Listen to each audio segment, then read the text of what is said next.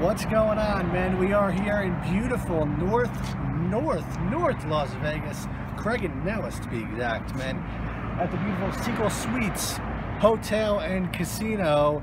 Uh, we're gonna try uh, some uh, couple entrees from their uh, wonderful cafe that they have in here, man. Never been here before, and I don't think Mr. Herbert has ever been here either.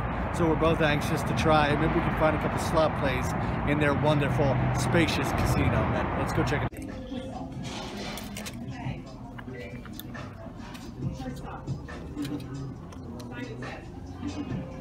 What's going on, men? We are back from meeting at the beautiful Lally's Island and Soul Cafe here at the Siegel Suites in wonderful North Las Vegas, Craig and Nellis to be exact.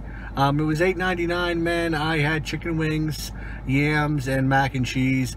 I mean, to be honest with you, man, for $8.99, I would not eat there again. I'd much rather go down the street to Popeyes or Church's or something, and I'll get a better quality meal for less money, man. You know, to, to give you an example, the area that we're in, you know, a lot of fast food places, they make you pay for the meal and then, you know, they, they give it to you. But here, even though it's a restaurant, you still have to pay first and then they serve you the meal. Uh, you know, given the area we're in, though, that's not too surprising. But um, again, man, I would not recommend it. You know, Island and Soul Cafe um, would not recommend, boys.